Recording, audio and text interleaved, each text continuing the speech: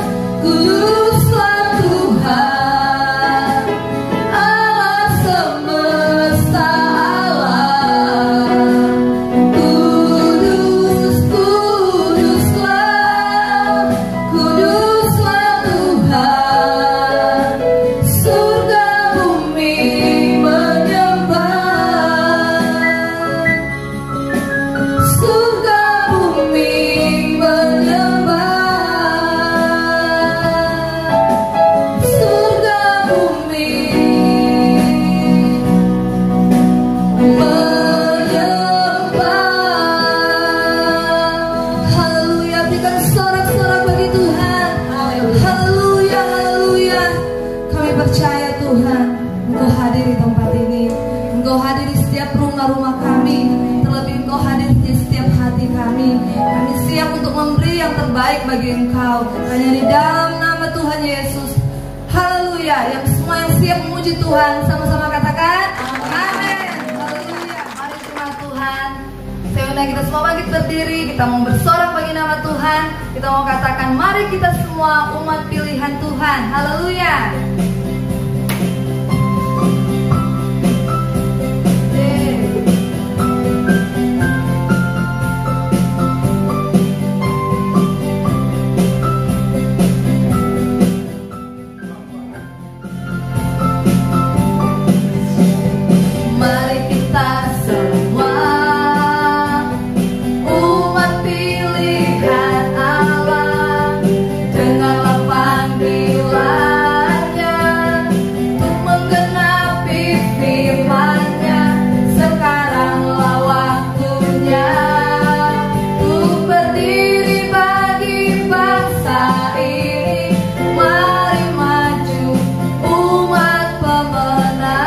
Lagi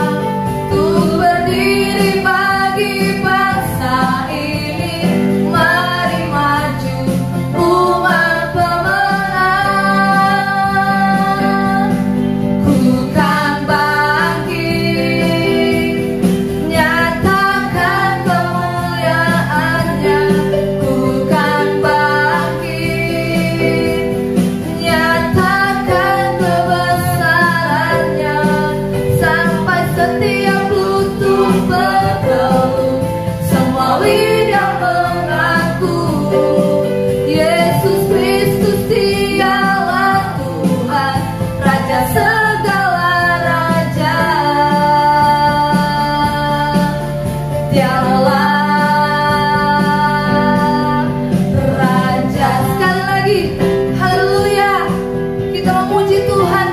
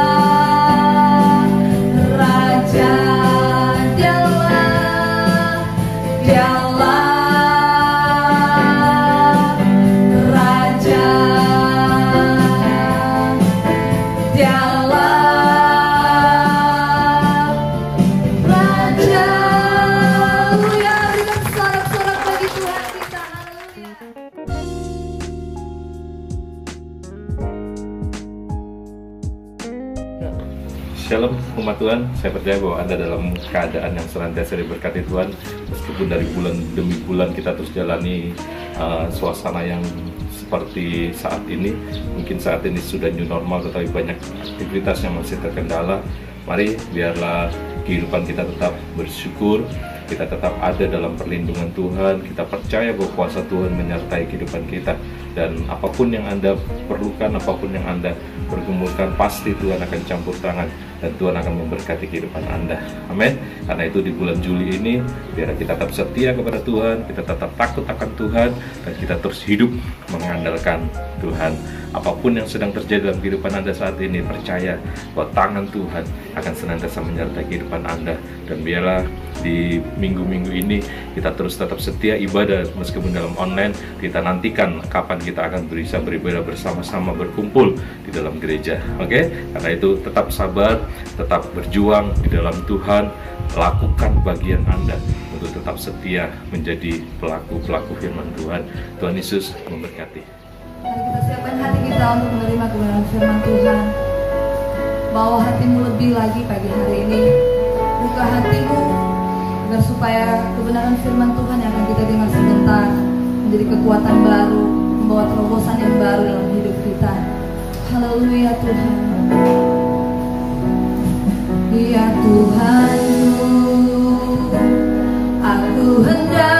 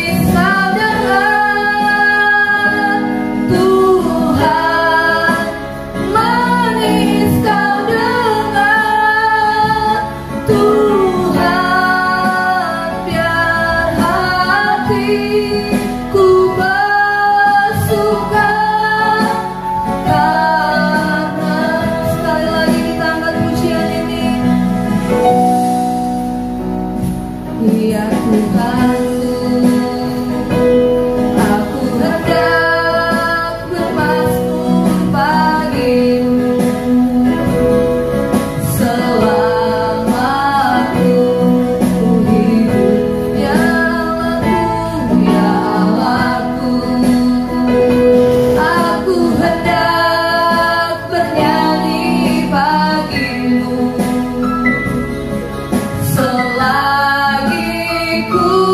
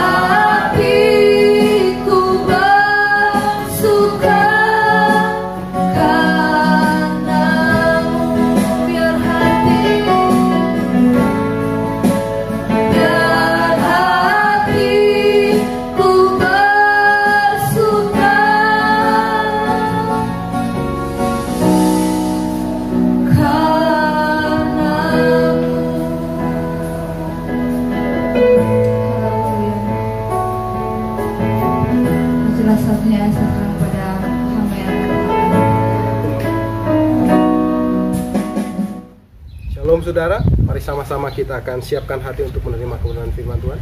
Mari kita berdoa, Bapa di dalam nama Yesus, kami percaya firman-Mu adalah Engkau sendiri.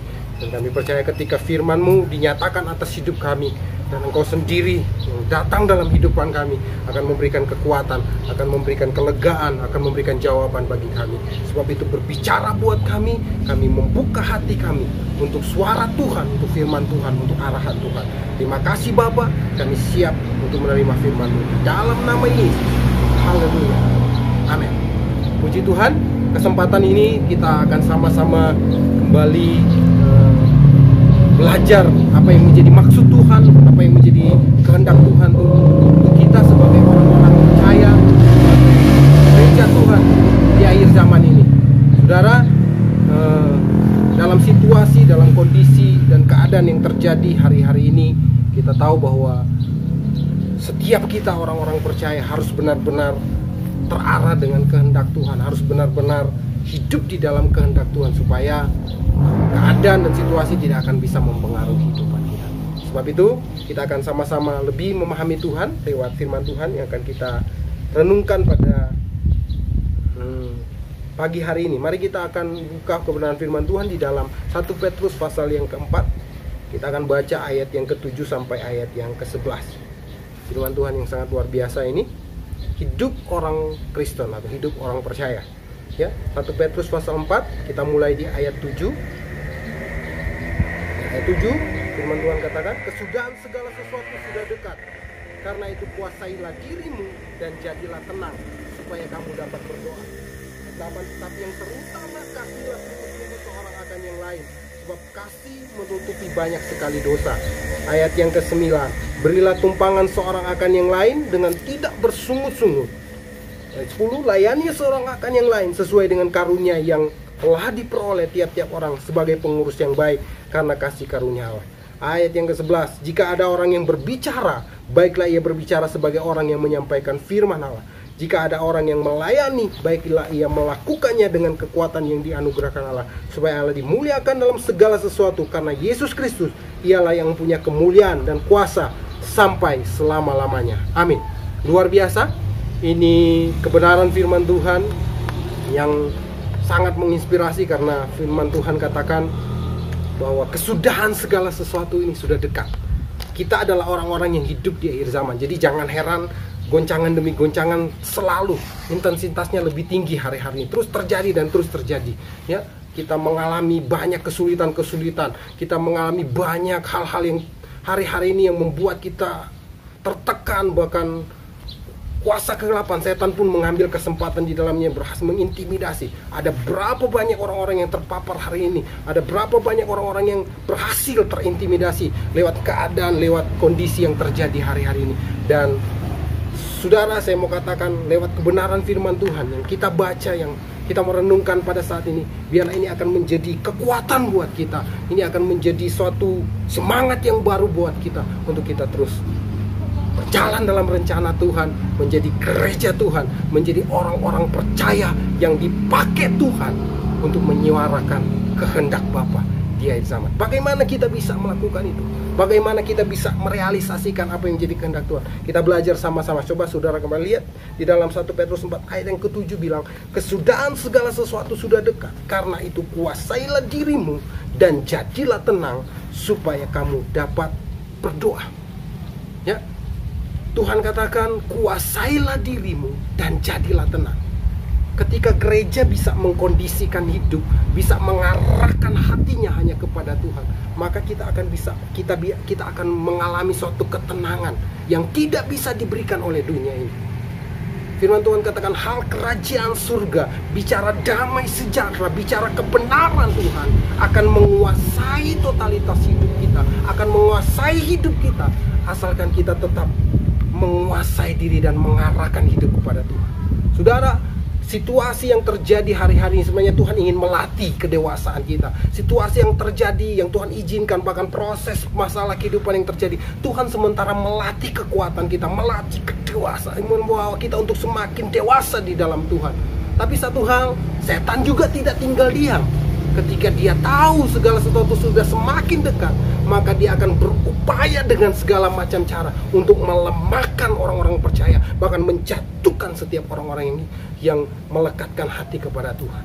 Jadi, saudara, banyak banyak kali orang-orang percaya tergelincir dan terjatuh akibat dari serangan-serangan yang di, yang di yang di yang dilakukan oleh kuasa gelapan. Dia menyerang pikiran kita perasaan hati suasana hati kita sehingga kita kita mengalami satu tekanan dan depresi sehingga sepertinya kita tidak punya kekuatan kita tidak punya pengharapan untuk bergerak hari ini. Tapi satu hal saya mau katakan firman Tuhan ya dalam satu Petrus yang keempat ayat 7 bilang kuasailah dirimu dan jadilah tenang. Bagaimana kita bisa menguasai diri? Bagaimana kita bisa menguasai hidup kita hari ini?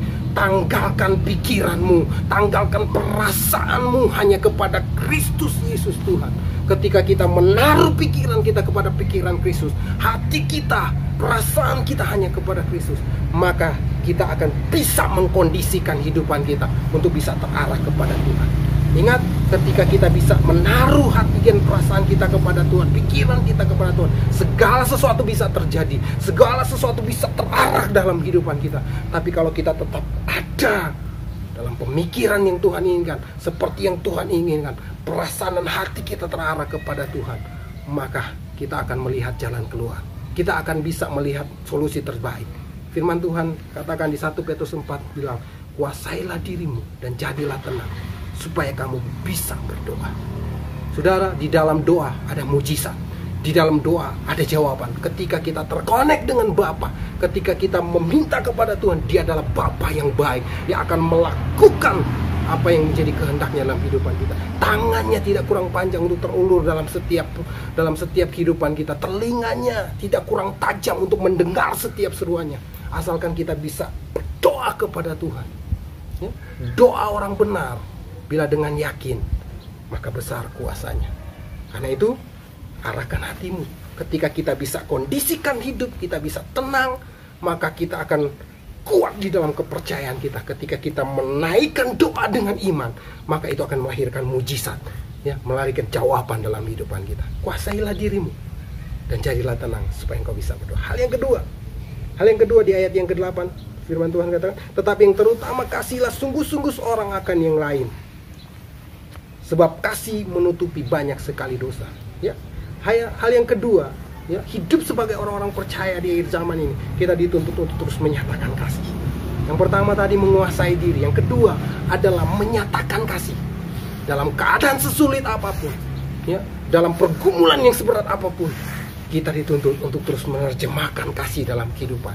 Artinya orientasi kita hanya terarah kepada Tuhan kalau orientasi kita hanya terarah kepada dunia, maka situasi dan kondisi akan mempengaruhi kualitas iman percaya kita. Tapi kalau kita tetap terarah kepada Tuhan, masalah dan goncangan apa pun tidak akan menghalangi hidupan kita untuk terus berbuat kasih. Walaupun firman Tuhan katakan di akhir zaman kasih akan menjadi dingin. Karena banyak orang yang terarah kepada dunia, mereka akan lebih mementingkan diri sendiri. Tapi satu hal, hidup orang-orang percaya dituntut untuk menerjemahkan kasih itu ya kita dituntut untuk merealisasikan kasih itu dalam langkah-langkah kehidupan kita. Bagaimana kita bisa? Kita harus terkonek, kita harus tetap terarah kepada Tuhan. Ya, kita harus melakukannya karena ini yang Tuhan mau, ini yang Tuhan inginkan bagi orang-orang percaya. Bukan cuma sekedar kita tahu teori tentang kasih, kita tahu bahwa Tuhan kita penuh kasih, tapi kita tidak bisa menerjemahkan, kita gagal jadi orang Kristen. Yang Tuhan mau, apa yang kita tahu, apa yang kita dengar, bahkan kita tahu persis bahwa salah satu karakter dari Tuhan kita adalah kasih. Dia memberikan teladan ini. Ya, dia memberikan teladan bagi kita orang-orang percaya bagi gereja Tuhan. Mari kita ambil. Ya, mari kita tangkap itu. Kita mulai uh, belajar dari keteladanan Yesus dan kita mulai terjemahkan dalam langkah-langkah hidupan kita. Sudah akan lihat karya Tuhan yang luar biasa. Nama Tuhan akan dipermuliakan ketika kita menjadi suratan yang terbuka. Kita merealisasikan kasih itu dalam langkah-langkah kehidupan. Hal yang ketiga, dengan cepat saudara. Hal yang ketiga, di ayat yang ke-9, berilah tumpangan seorang akan yang lain dengan tidak bersungut-sungut. Lawan dari bersungut-sungut adalah mengucap syukur. Ya, artinya yang ketiga adalah banyaklah mengucap syukur. Di hari-hari yang sebenarnya ini kalau kita tidak banyak mengucap syukur, justru yang akan di- diperbanyak adalah komplain, persungutan. Karena itu kita dituntut sebagai orang percaya dalam segala situasi kita harus tetap bersyukur. Mungkin keadaan belum berubah, mungkin doamu belum terjawab, mungkin pergumulanmu belum selesai, tapi Tuhan bilang mengucap syukurlah dalam segala keadaan. Mengucap syukurlah dalam segala hal. Karena itu yang dikehendaki Tuhan. Apa yang dikehendaki Tuhan? Ucapan syukur. Yang Tuhan mau adalah ucapan syukur. Jangan terbawa dengan situasi, jangan terbawa dengan suasana, jangan terbawa dengan keadaan, dengan kondisi yang kau alami hari ini. Tapi satu hal saya mau katakan, seberat apa pun, sesulit apa pun keadaanmu hari ini, tetap mengucap syukur. Walaupun mungkin ketika engkau mengucap syukur, mungkin harus meneteskan air mata, harus mungkin mengalami masa-masa tersulit, tapi engkau tetap belajar memuliakan Tuhan. Karena ketika engkau mengucap syukur, engkau sementara melakukan tindakan penyembahan di hadapan Tuhan. Inilah yang Tuhan inginkan dalam segala keadaan kita tetap memuliakan Tuhan. Rahasianya ketika gereja terus memuliakan Tuhan. Ketika gereja tetap menyembah memuliakan Tuhan, Tuhan bertakhta di sana, Saudara. Maka kalau Tuhan hadir, Yesus cukup untuk segalanya. Amin. Mari kalau Tuhan hadir dia cukup penyembahan. Ya, naikkan pujian, naikkan ucapan syukur di hadapan Tuhan. Buat Tuhan berpijak dalam hidup kita, dia berdiam dalam hidupan kita.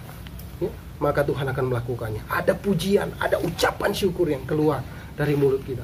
Minimal hati kita, suasana hati kita berubah dulu. Ketika kita mulai berubah, kita mengalami kekuatan baru, maka langkah-langkah kita, ya, jawaban Tuhan akan terrealisasi dalam langkah-langkah hidup kita, dalam setiap aspek kehidupan kita. Yang penting engkau mengucap syukur, karena ini yang Tuhan lancarkan, ini yang Tuhan mau bagi orang-orang percaya. Amin. Mau mengucap syukur, teruslah lakukan ini. Hal yang berikutnya, saudara. Ya, yang keempat, ayat yang ke-10 kita lihat. Layanilah seorang akan yang lain sesuai dengan karunia yang telah diperoleh tiap-tiap orang sebagai pengurus yang baik dari kasih karunia Allah.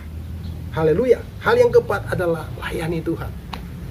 Ya, sebagai orang-orang percaya, Tuhan ajarkan yang Tuhan mau, yang Tuhan inginkan, layani Tuhan dalam segala keadaan.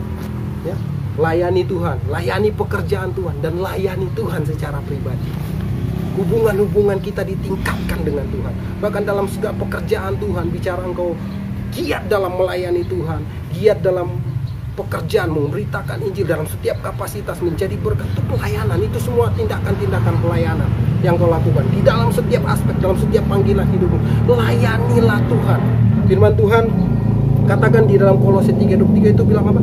Apa pun yang kau perbuat perbuatlah seperti untuk Tuhan ya itu akan jadi tindakan pelayananmu tindakan yang akan memuliakan dia akan penyembahan di hadapan Tuhan di dalam setiap aspek layani Tuhan. Layanilah Tuhan. Di mana pun. Saya kira sudah tidak perlu diajarkan bagaimana cara melayani Tuhan. Karena Tuhan memanggil kita untuk melayani. Sebagaimana Yesus datang ke dunia dia datang sebagai pelayan. Dia melayani, dia datang untuk melayani, dia memberikan keteladanan ini. Dan inilah yang harus dicontohi, yang ini yang harus diikuti oleh orang-orang percaya. Melayani, hidup untuk melayani. Ya, jangan cuma sekedar kita tahu lagu hidup ini untuk melayani Tuhan, tapi tidak merealisasikan dalam hidup. Mari lakukan ini sampai akhir hidup kita. Kita adalah orang-orang yang melayani Tuhan. Kita adalah pelayan Tuhan. Jadi nggak ada yang bisa kita banggakan selain Yesus. Nggak usah banggakan apa pun kapasitasmu, apa pun latar belakangmu. Layanilah Tuhan. Kita adalah hamba, kita adalah pelayan Tuhan. Dalam setiap panggilan hidup, layanilah Tuhan. Kerjakan ini karena panggilan orang-orang percaya adalah melayani Tuhan supaya lewat keteladanan hidupan kita, cara hidup kita banyak orang yang akan datang kepada Tuhan. Kita menjadi langkah-langkah hidupan itu menjadi khotbah kita setiap hari, menjadi menjadi renungan kita, menjadi uh, firman Tuhan yang bisa dilihat oleh orang, menjadi suratan yang terbuka supaya ketika kita merealisasikan ini nama Tuhan dipermuliakan. Ya, tujuan utama biarlah nama Tuhan dipermuliakan karena hidup kita adalah. Kita dipanggil untuk menyembah, artinya penyembahan artinya memuliakan Tuhan. Di mana pun kita ada. Kita harus memuliakan Tuhan. Lewat pelayanan kita ya nama Tuhan dipermuliakan. Next hal yang terakhir di ayat yang ke 11 berada ayat 11 jika ada orang yang berbicara baiklah dia berbicara sebagai orang yang menyampaikan firman Allah. Jika ada orang yang melayani baiklah ia melakukannya dengan kekuatan yang dianugerahkan Allah. Supaya Allah dimuliakan dalam segala sesuatu karena Yesus Kristus Ialah yang punya kemuliaan dan kuasa sampai selama-lamanya. Amin. Bagian ayat bilang apa? Jika ada orang yang berbicara, baiklah ia berbicara sebagai orang yang menyampaikan firman. Artinya kita harus hidup di dalam firman dan kita harus menyuarakan firman setiap hari. Amin. Karena itu perbanyaklah, perbanyaklah waktu untuk merenungkan firman. Perbanyaklah waktu untuk datang duduk di kaki Tuhan, merenungkan setiap firman Tuhan. Biarkan firman Tuhan mempengaruhi hidupmu. Biarkan pengaruh, karena kecenderungan manusia itu gampang untuk dipengaruhi. Ketika kita condong kepada dunia, dunia akan mempengaruhi kita. Dunia akan terus mempengaruhi kita. Sehingga kalau saudara terpengaruh oleh dunia, ketika dunia bergoncang, saudara ikut tergoncang. Tapi satu hal firman Tuhan katakan, biarkan firman Tuhan mempengaruhi hidupmu. Ketika firman Tuhan berhasil mempengaruhi hidup, maka ketika engkau bergerak, engkau merea, engkau mulai bergerak, maka nama Tuhan itu akan dipermuliakan. Ketika kita hidup di dalam kekuatan firman Tuhan, nama Tuhan akan dipermuliakan. Orang yang bergerak dalam firman adalah orang yang bergerak dalam kuasa.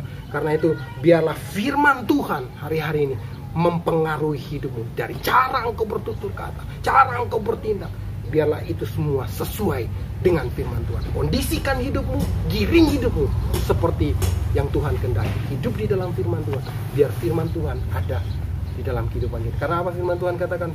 Orang yang hidup bergaul dengan Tuhan, yang kesukaannya ialah Taurat Tuhan, dia seperti pohon yang ditanam di tepi aliran air, yang akan terus menghasilkan buah.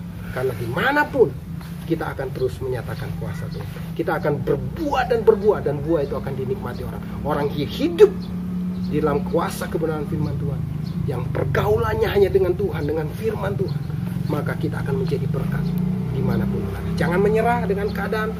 Jadilah orang-orang percaya yang Tuhan inginkan.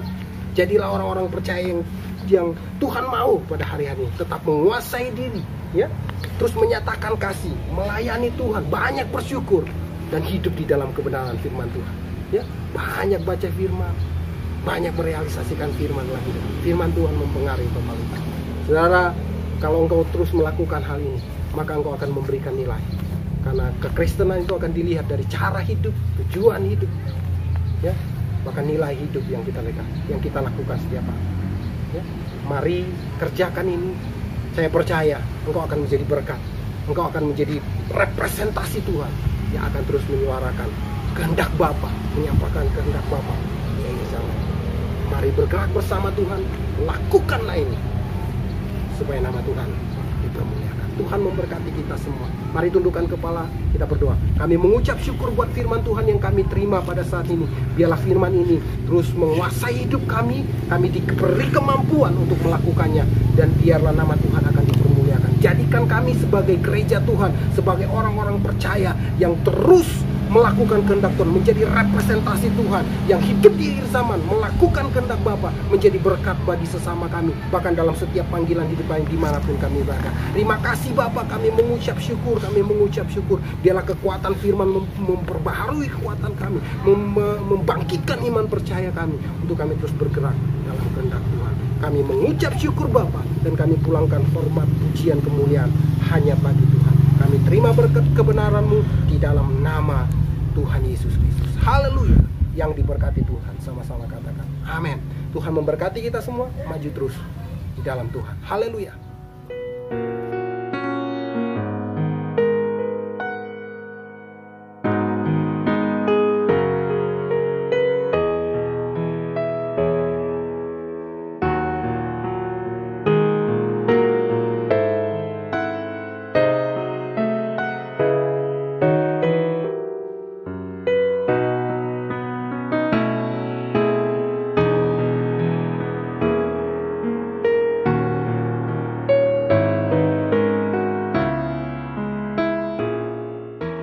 Kita sudah diberkati dalam ibadah kita dan biarlah kita terus tetap setia kepada Tuhan.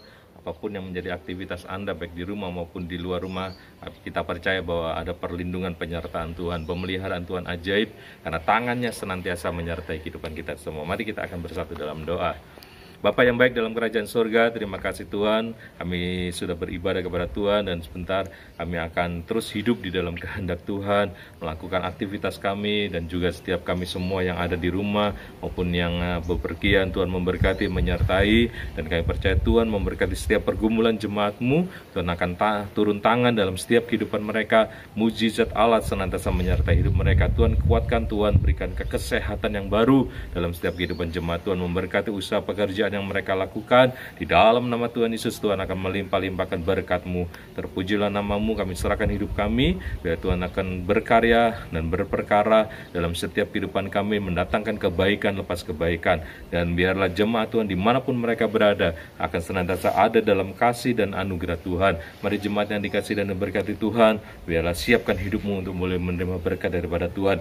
Kiranya Tuhan memberkati dan melindungi engkau, dan Tuhan menyenari engkau dengan wajahnya, serta memberi memberikan kasih karunia dan Tuhan menghadapkan wajahnya kepadamu, memberikan damai sejahtera.